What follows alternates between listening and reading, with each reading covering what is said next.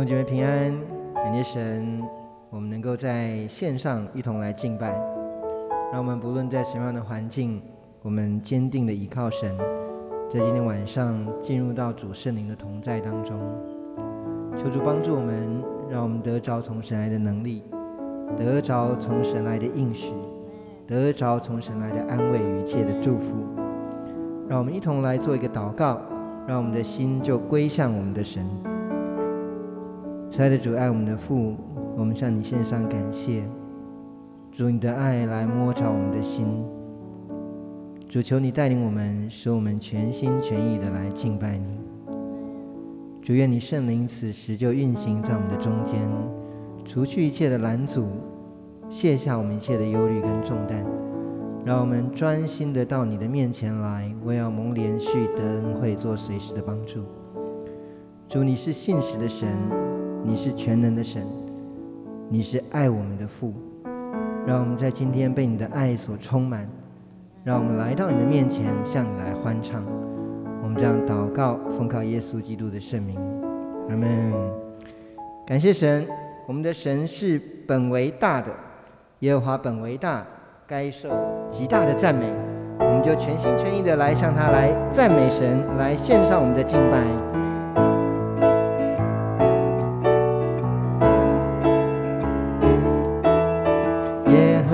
本为他感受到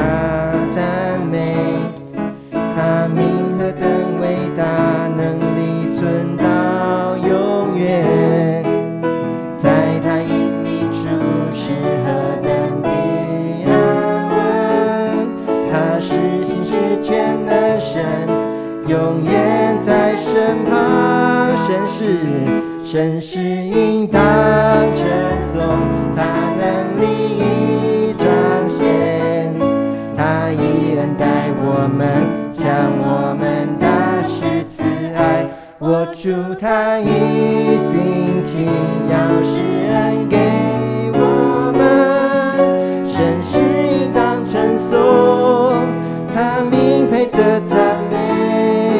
耶稣是全能的神，哈利路亚！耶和华本伟大。耶和华本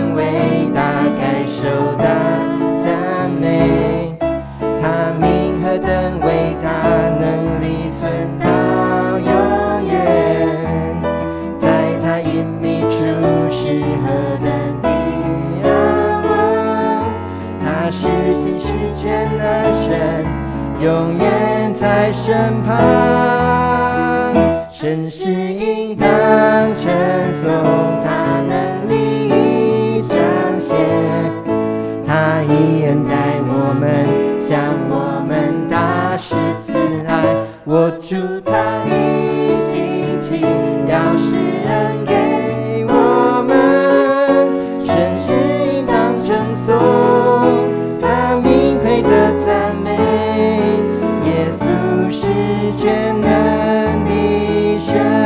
让我们再从头，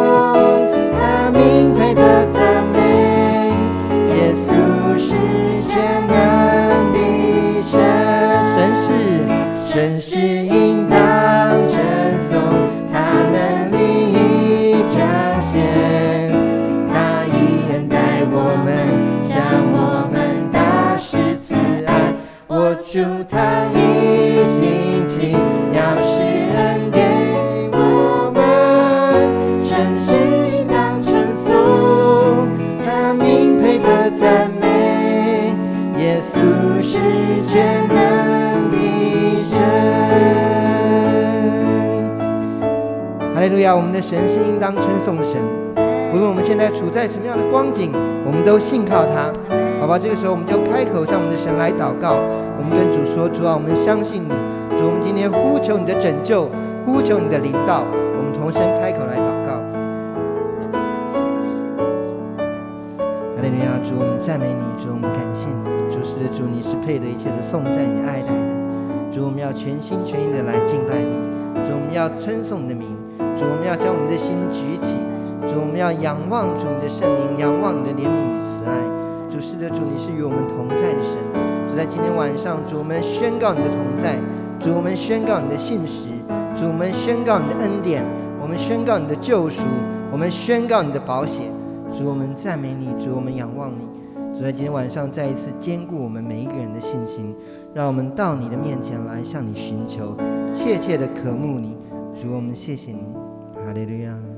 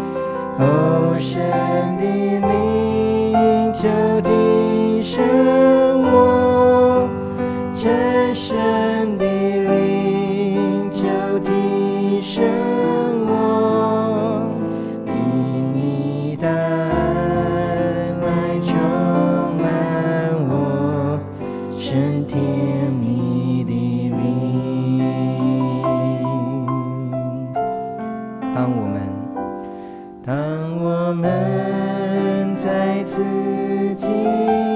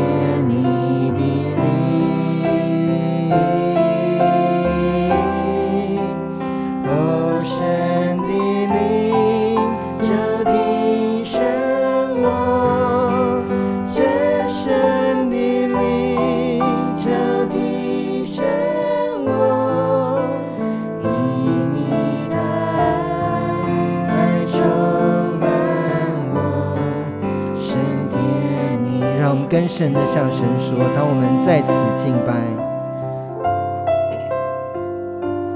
当我们再次敬拜，主啊，敬拜你，你荣耀是的主，我们宣告你的荣耀。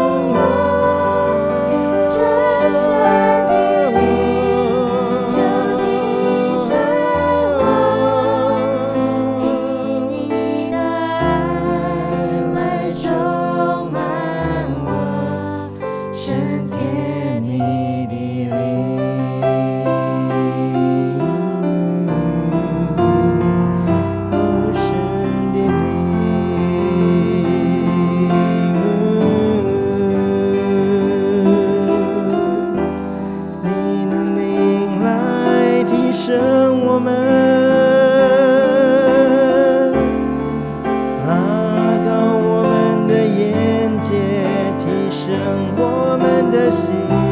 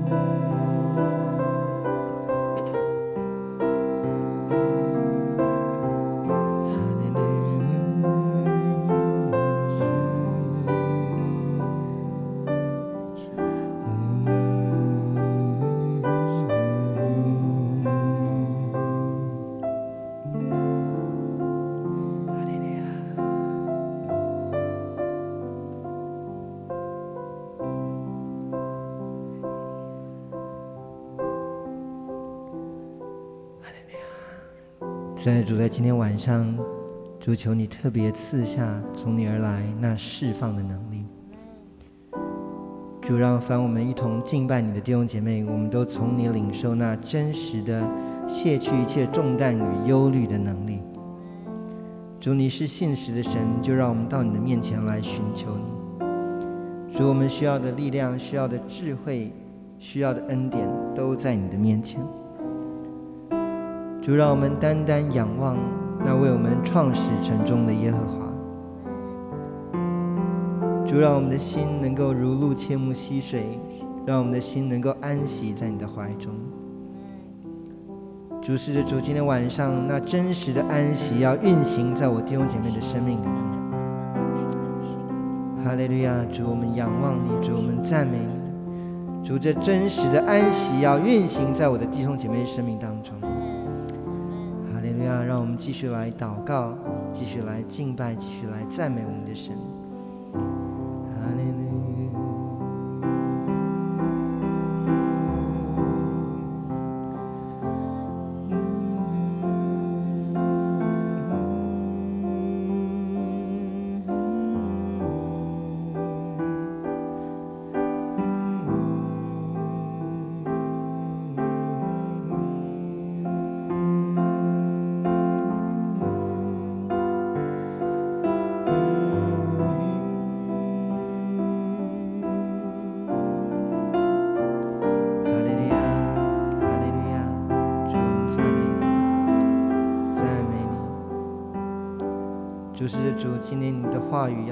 说：凡劳苦担重担的，可以到你这里来。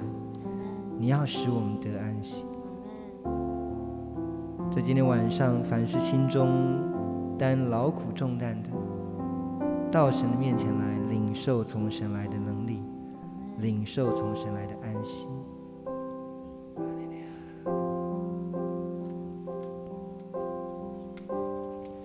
主，并且我们也知道。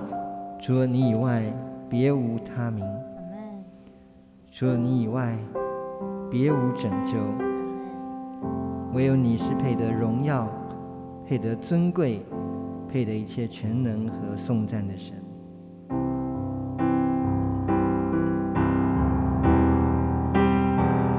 别无他名，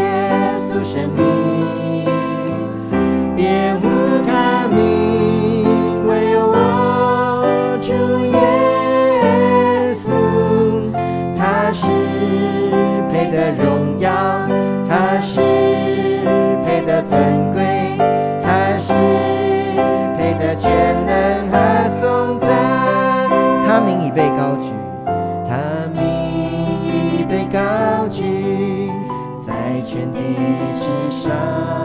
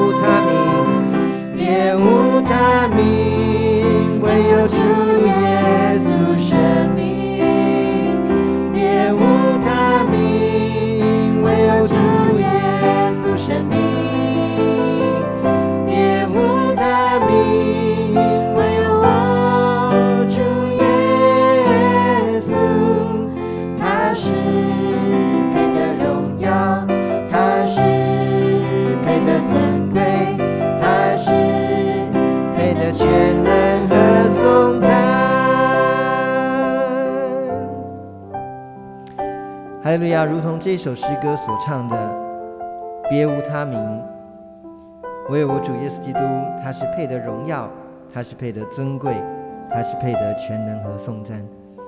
我们是不是能够全然的信靠我们的神？是不是知道我们的神是在沙漠开江河，是在旷野开道路的主？或许现在你感觉到你人生前面的道路不是很明确，或者是感觉到有许多的难处拦阻在你的面前。但是我们的神，他应许我们，他与我们同在，他必然给我们够用的恩典，让我们能够度过。我们需要的就是有从神而来那信心的眼目。求神今天将那信心的眼目赏赐在我们的里面，让我们的心能够重新被喜乐起来，被坚固起来。我们知道神的道路高过人的道路，神的意念高过人的意念。有的时候我们还不是非常明白，有的时候我们即使知道了，但是我们感觉信心不足。今天让我们再一次向神献上我们一个愿意相信神的心。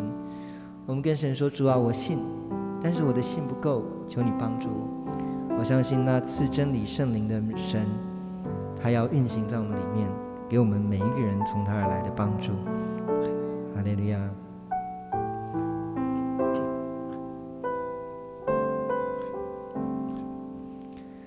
神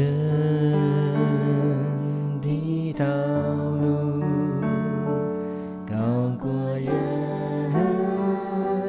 的路，神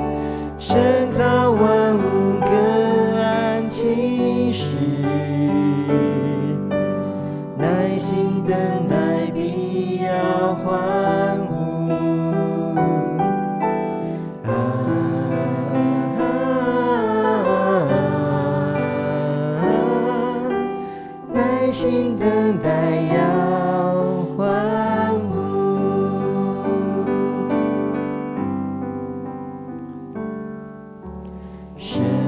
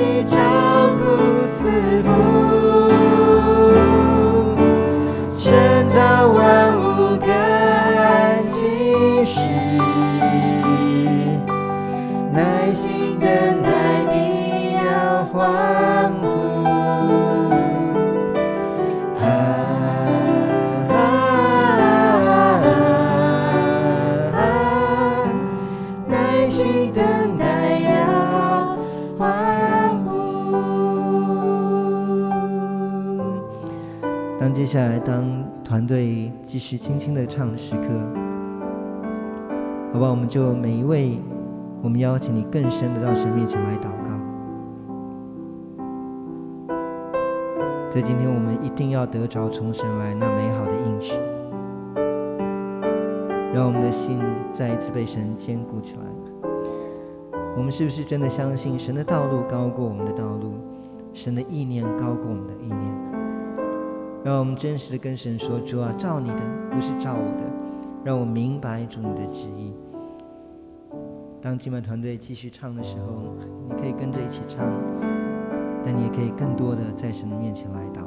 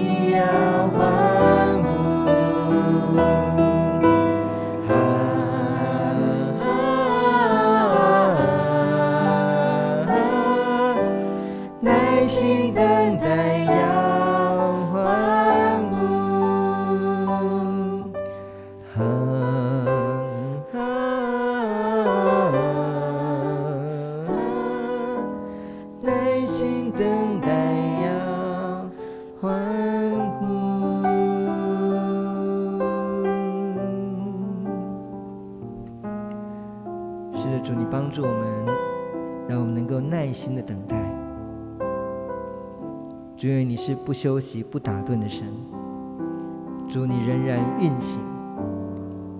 主，今天让我们认识你的运行，也让我们进入你的运行当中。主，让我们知道，主你是听祷告的神，我们每一个祷告，甚至于心里的意念，主你都知道。就让我们就投靠在你的怀中，让我们知道你是那位爱我们的父神，没有任何的拦阻，没有任何的困难，是你不能够为我们成全、不能陪伴我们的。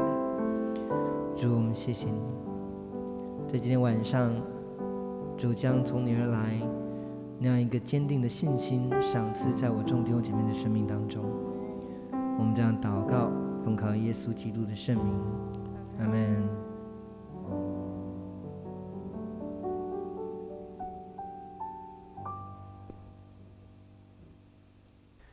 元神，我们今天要来看以弗所书第五章，我们要从第九节一直到十六节。以弗所书第五章第九节，光明所结的果子，就是一切良善、公义、诚实。总要查验何为主所喜悦的事。那暧昧无益的事，不要与人同行，倒要责备行这事的人，因为他们暗中所行的，就是提起来也是可耻的。凡事受了责备，就被光显明出来，因为一切能显明的，就是光。所以主说：“你这睡着的人，当醒过来，从死里复活，基督就要光照你了。你们要谨慎行事。”不要像愚昧人，要像智慧人，要爱惜光阴，因为现今的世代邪恶。那保罗给以弗所教会弟兄姐妹的提醒，我相信也是啊，对于我们这个世代的基督徒很重要的一个提醒。我们要认识光明所结的果子，就是一切的良善、公义、诚实。所以，如果在我们的生命里面啊，产生出不是。出于良善，不是出于神的意，不是出于诚实，不是出于真理的这些性情在我们的里面，那我们就要知道，那这些就不是光明所结的果子。在以弗所书第五章的第五节那边讲到这个暗昧、不合圣徒体统的事，它包含淫乱的、污秽的跟有贪心的。那么到了第九节就告诉我们，作为神的儿女。活在光明当中，那应该要产生出一切的良善、公义和诚实。生命的良善，它是要越来越丰富。什么是良善？圣经告诉我们，只有一位是善的，就是我们的神，就是耶稣基督。这是作为基督徒应该要有对于善的一个认识。所以属神的善，它所指的就是属神的生命、属神的性情所显出来的样式。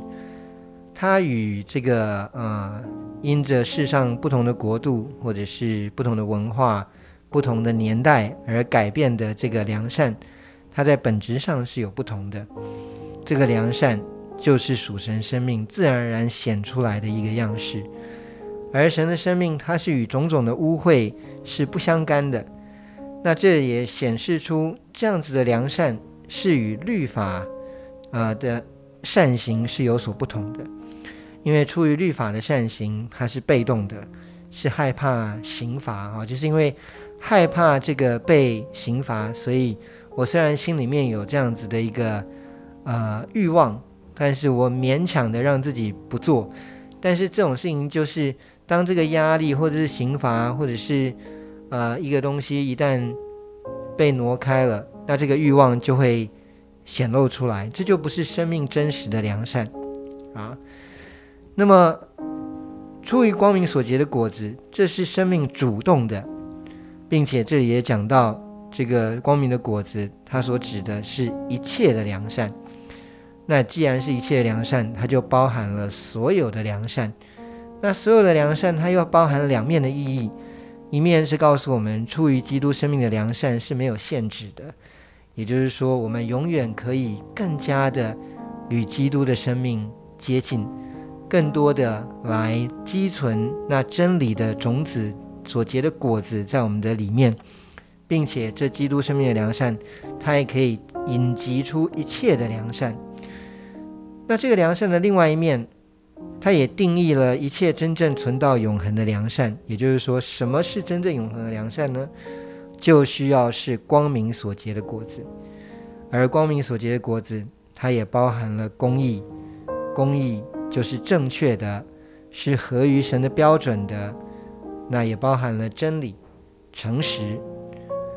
所以在属神的光明当中，应该要能够生出良善的生命。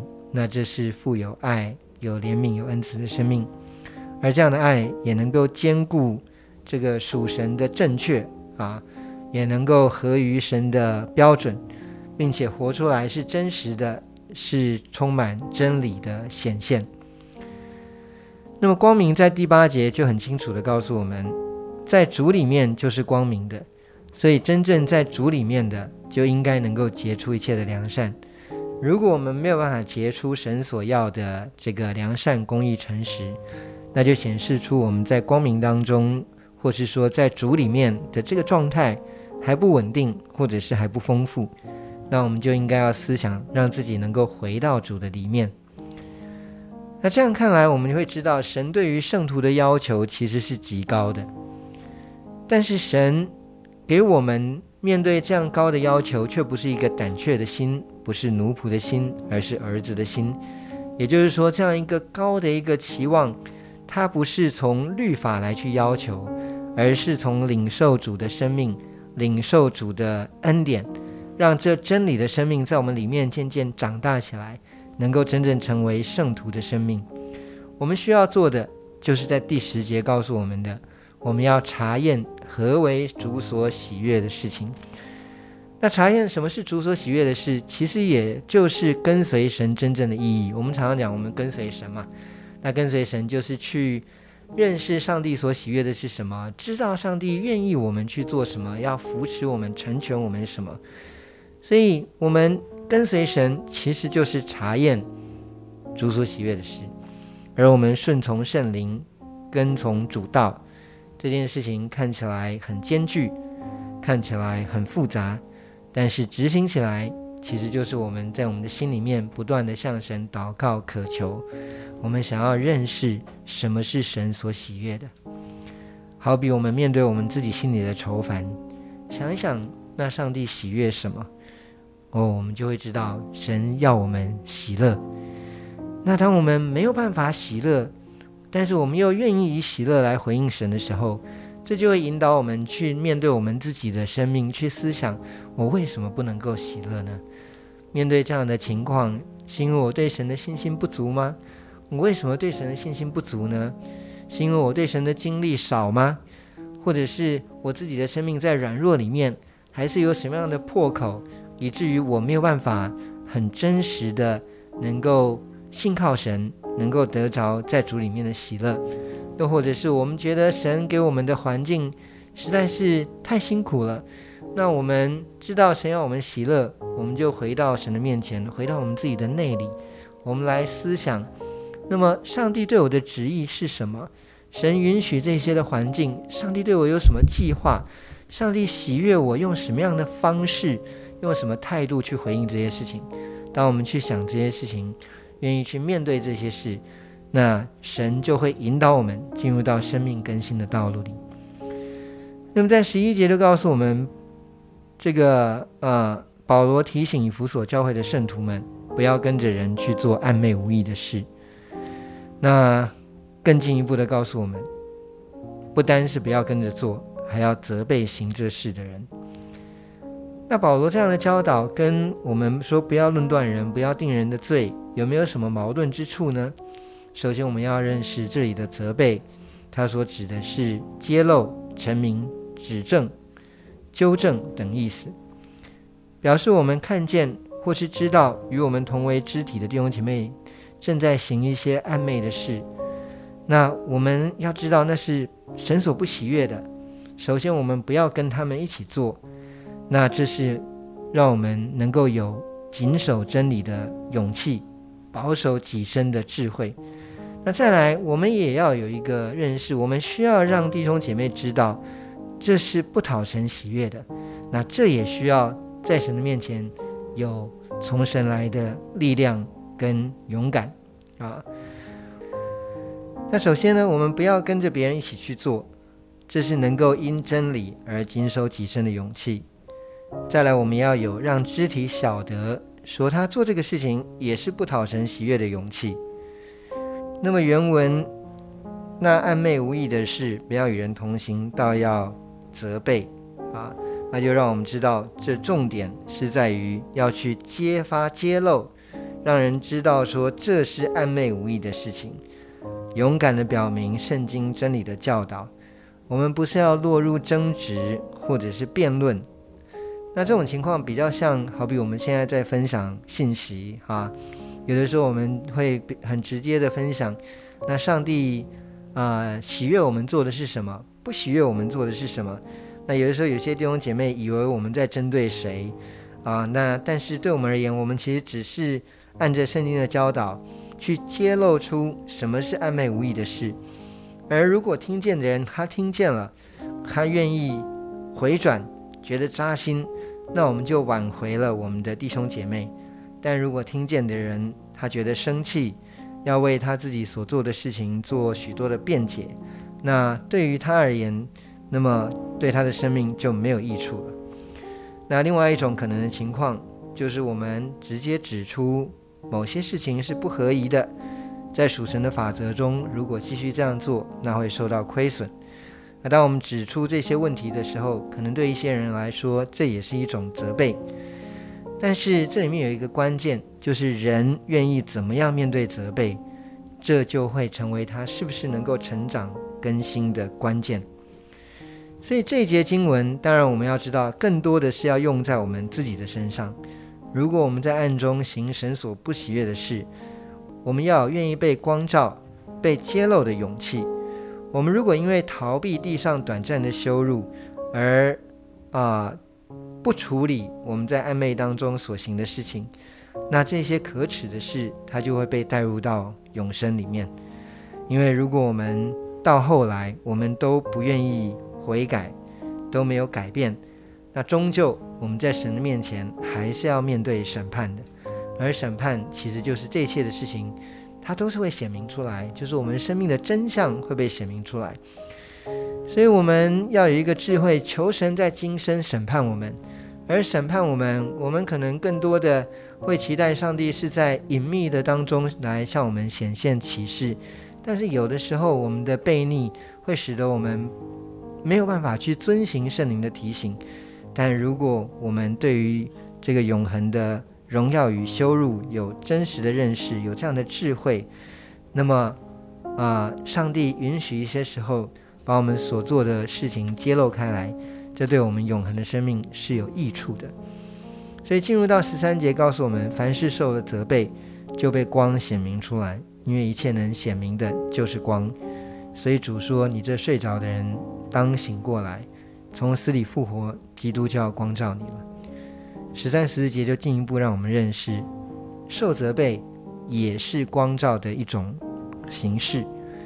我们常常讲到被圣灵光照，心里面或许期待的就是我们在敬拜祷告里面，那么圣灵用温柔微小的声音提醒我们，或者我们在读经的时候，那么就有一些经文就浮现上来，那么让我们的心能够觉得。这个啊，被调整、被改变，神的道能够剖开我们心中种种的诡诈，使我们看见生命的难处，而能够得着帮助。当然，我们都希望这个呃圣灵的光照是用这种比较温和的形式来进行。但对我们而言，有的时候我们可能也会碰到需要当头棒喝式的光照。当神透过他所设立的权柄。来，啊，给我们责备，或者是说将问题揭露出来的时候，我们能不能够认出这是神的光照？人有的时候在自己的行为模式里面，甚至于在整个社会氛围下，在所受的教育的影响，在这个世界的价值观的这个环绕的里面，我们面对自己所行的，我们不见得啊每一件事情都能够察觉说这是。有问题的，甚至于有的时候我们因着自己的私欲，我们自己欺哄自己的良心，自己都没有发现。那我们的良心就像是睡着的人一样，面对错误、面对罪是没有感觉的、没有反应的。那当我们落在这样的情况里面的时候，我们就会需要有比较明确的、比较强烈的提醒的方式。那这就是这里所说的责备。这个责备是要让我们能够醒过来，要我们能够从死里复活。我们能不能够将责备视为一种出于神的光照？那这是我们自己需要思想面对的。那当然，另外一方面，我们也要谨慎。就是如果我们要提醒弟兄姐妹的错误，我们要醒察自己几件事。首先就是要辨别自己是出于爱还是出于论断。这当中最基本的区别，出于爱的，我们是要对方能够改变，我们的目的是要挽回他。我们要指出人的问题，我们需要想我有没有愿意继续陪伴他，甚至于为了他的重建而付上代价的预备呢？还是我们只是出于愤怒，只是要指责，甚至于不惜摧毁对方，那这样子就不是出于爱的。所以，出于爱的提醒，他会有一个愿意付代价的心智，以及会有真正从神来的负担。但是，出于论断的责备，则会带着愤怒，会带着这个难以平复的这种情绪啊。那再来，我们是需要有智慧的。圣经也清楚地告诉我们：倘若你的弟兄得罪得罪你，你就去，趁着只有他和你在一处的时候，指出他的错来。他若听你，你便得了你的弟兄；他若不听，你就带另外一两个人同去，要凭两三个人的口做见证，句句都可定准。若是不听他们，就告诉教会；若是不听教会，就看他像外邦人和税吏一样。那这段经文给我们很明确的，我们面对弟兄姐妹生命当中的难处的一些处理的啊程序啊，但是我还是要跟大家提醒，今天所读的这些经文，最重要的是我们要省察我们自己有没有愿意被光照的心智。如果上帝真的量给我们有一些的机会，有一些的环境，我们要对弟兄姐妹有一些提醒。那我们就要很谨慎，自己是不是在真实的爱里面，或是神有没有给我们这样的位分，给我们这样的角色，来去做这样的事情啊？